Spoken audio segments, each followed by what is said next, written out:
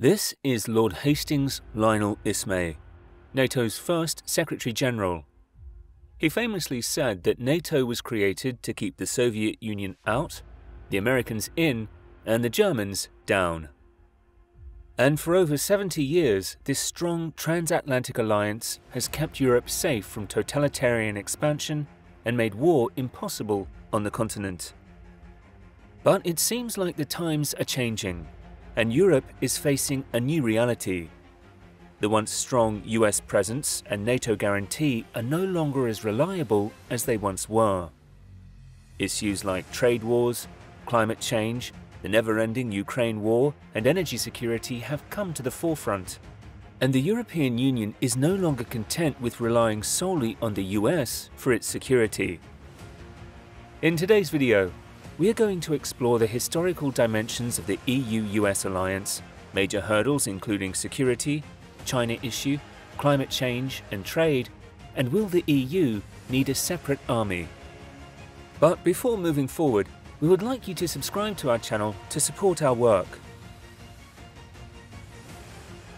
After the devastation of World War II, Europe was in ruins and need of assistance. The United States, having emerged as a superpower, saw an opportunity to rebuild Europe and contain the spread of communism. Thus, the Marshall Plan was born, providing aid and investment to Western Europe.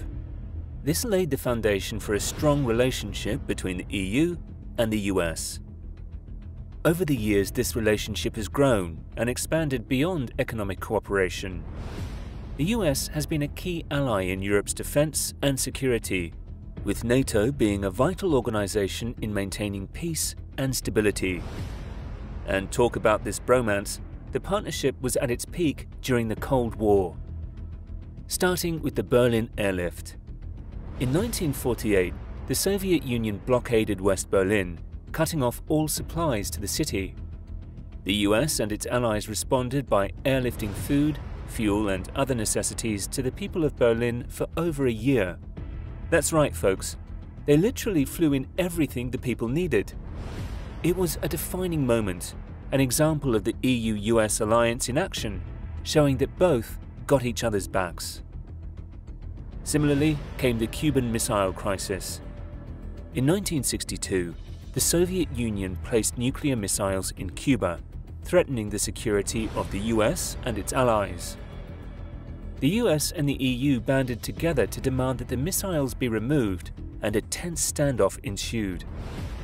Thankfully, a peaceful resolution was reached, and the world breathed a collective sigh of relief. The EU-US alliance had proven its strength once again. And let's not forget about the fall of the Berlin Wall in 1989.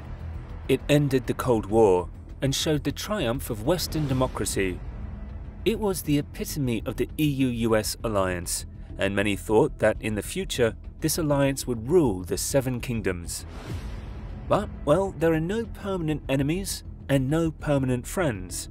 Only interests are permanent. And this came true during the Iraq War and the Trump administration. See, a while back, the US decided to invade Iraq because they thought there were weapons of mass destruction there. But a lot of people in Europe didn't agree with that decision and thought it was a bad idea. This caused some disagreement and hurt feelings between the US and the EU. Another reason things have been a bit rocky is because of something called our big guy, Donald Trump. Well, during his time in office, he said and did some things that upset a lot of people in Europe. He didn't always play nice with other countries and that made it hard for the US to work well with the EU. And for NATO, Trump bashed the European giants for not economically contributing to the bloc. So basically, the US EU love circle was not for long. These two events started to create a wedge between the Western giants. While there have been improvements with Biden in office, EU confidence in the US remains low, according to a 2021 survey. Though the EU still remains a US ally, there are major issues in the following domains. The United States and Europe are having some trade disagreements. They have a group called the Trade and Technology Council that is supposed to help them work together and find solutions to these disagreements. However, the things they are talking about in this group are not the biggest issues they have. They are supposed to be working on things like climate change and new technology, but they're not really talking about those things. One thing they disagree about is electric cars. The United States is giving people money to buy electric cars, but Europe thinks this is not fair and might hurt their own car companies. Europe is also planning to tax products from other countries that do not meet their environmental standards, and the US is not sure if this is allowed.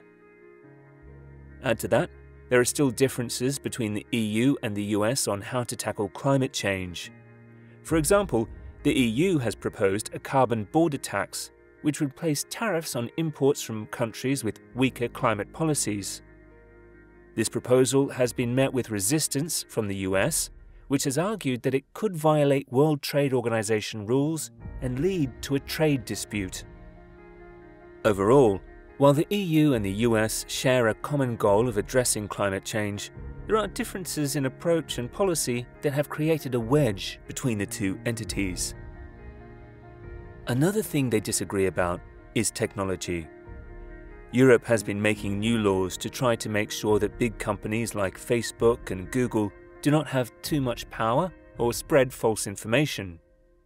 The US is worried that these laws might hurt American companies. There are also some new rules in Europe that would make it harder for American companies to sell their services there. So, even though the Trade and Technology Council is supposed to help the US and Europe work together, they're not really talking about the big issues they have. They're still trying to figure out what they can agree on and what they cannot. But wait, it gets even more complicated. You see, China is a big part of this whole mess. China is the EU's largest trading partner, but the US is not too happy about that. They have been in a bit of a trade war with China and have to put sanctions on them. And it seems like the US is also trying to get other countries to stay away from China too. For example, they forced the UK to not work with a Chinese company called Huawei. Things are getting even messier now because there is a big disagreement between France and the US about what to do with Taiwan. France's leader, Macron, said that his country is not a vassal of the US and shouldn't have to follow its lead on this issue. But at the same time, Germany is sending representatives to Taiwan. So you can see that there is a big wedge between the EU and the US when it comes to China. It's all pretty confusing. Another issue that's causing a lot of tension between the EU and the US is the US pivot to Asia. Traditionally, we've seen the Anglo Saxon alliance, or the EU US alliance, but now the US is shifting its focus to the Indo Pacific region, leaving NATO irrelevant. While some might argue that this shift happened after the war in Ukraine, let's be real here.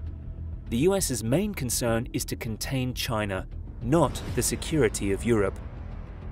To make matters worse, the recent AUKUS submarine deal between the UK, US, and Australia left France out, and they were understandably upset about it.